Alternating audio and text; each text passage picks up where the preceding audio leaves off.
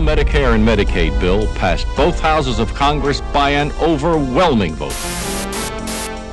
President Johnson signed the bill making it the law of the land July 30th, 1965, in Independence, Missouri, in the presence of former President Truman. Later, President Johnson helped President Truman sign up for the voluntary part of Medicare. dollars was Yeah, there are lots of things I like to forget. Yeah, we were in Vietnam. We were supposed to take a village, about a mile up. We were taking some sniper fire. We figured that's probably a village full of hostiles. I convinced my platoon leader we should make it easy on ourselves. Called it a napalm strike. We did. About ten minutes later, a couple of planes came in, burnt the village to a crisp. When things cooled down, we walked into the village. No hostels were there. It was a school. We killed over 300 little kids. Yeah. I'd like to forget that.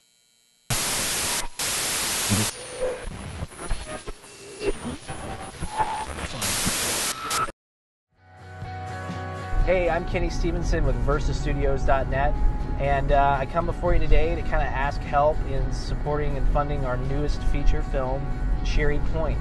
Cherry Point is uh, a big thinking film, it's a big philosophical film. It's about a town called Cherry Point in an alternate American society in the year 2051. Um, not quite dystopian, but essentially the film is about pain and how pain is essential in everyone's lives in order to feel happiness and really anything at all, to feel appreciation. And in this new society, the people have subscribed to the use of a drug called Torpase, which is hailed as the next penicillin of the day and a magic medicine, if you will, that eliminates all pain, but whether it be physical, psychological, whatever, it numbs it, it takes it away, and quite frankly, it leaves for a very bland, very numb society that doesn't care for itself. Um, the main protagonist, Joshua Barrett, through a series of events, is able to wean himself off the drug and must decide whether he's going to remain with the Springers, a, group, a rebellion that openly resists taking the drug and springs or cries in public illegally, or whether he's going to remain in the bland society he grew up in. Um, it's a very exciting film. We're a group of passionate filmmakers. We want to make this dream a reality, and we think you can help us. We already have a number of resources set up.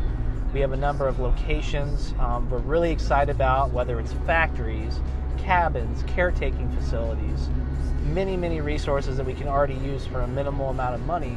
However, we need a little bit more pocket change for us to jingle around for traveling, food, lighting, and uh, maybe a little bit to give our actors too in the process. So, my name's Kenny Stevenson again.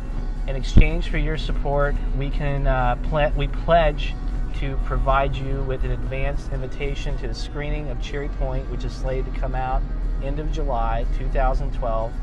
Um, which we'd be really excited to do, and we would also include you in our um, our list of growing credits of supporters. And many thanks to you.